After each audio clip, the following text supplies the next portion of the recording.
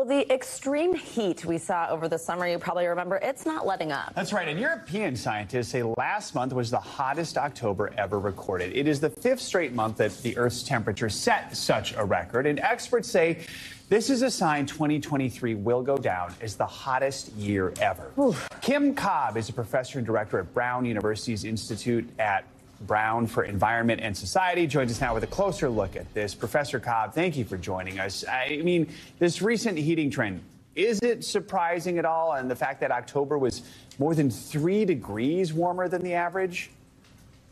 Well, it's not surprising that we're having year on year global temperature records at this point almost every year. But what is surprising about this year is just how high those new records are coming in at.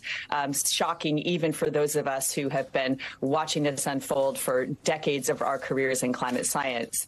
Um, but what's important to remember is that, of course, this will not stop here. Uh, 2024 already on our radar as a potential uh, record breaking year, as 2023 is, of course, a lock for the new warmest year on record, beating out 2020, uh, which is just a recent record set.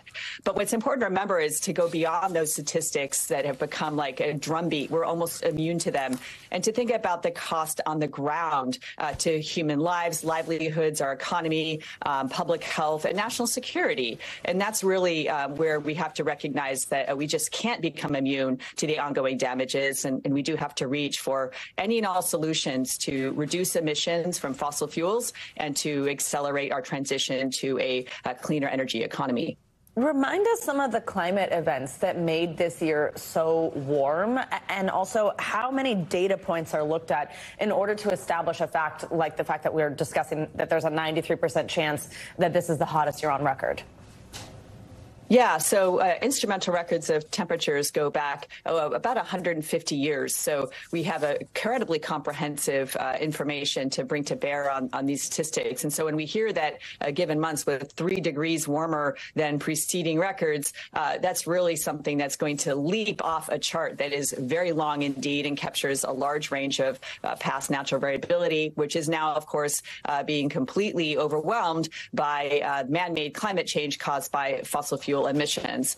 And so earlier this year, uh, we had a relatively cool uh, Pacific Ocean temperatures related to a La Nina event moving through to right now where we stand in an El Nino event, a vast warming of the largest ocean on our planet, uh, which comes every few years, obviously playing a major role in the uptick to 2023 being as warm as it is. But of course, earlier this year it was cooler. So that's really something to remember. Uh, 2024, of course, will continue continue El Nino conditions. We only have a few seconds left, Professor Cobb, but what does it mean if we just continue at this rate? Mm.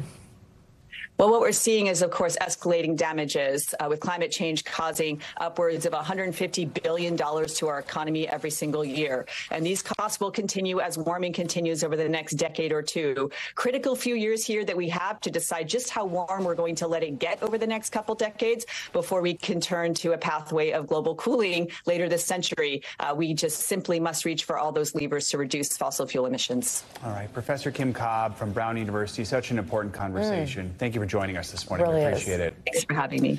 Thanks for watching. Stay updated about breaking news and top stories on the NBC News app or follow us on social media.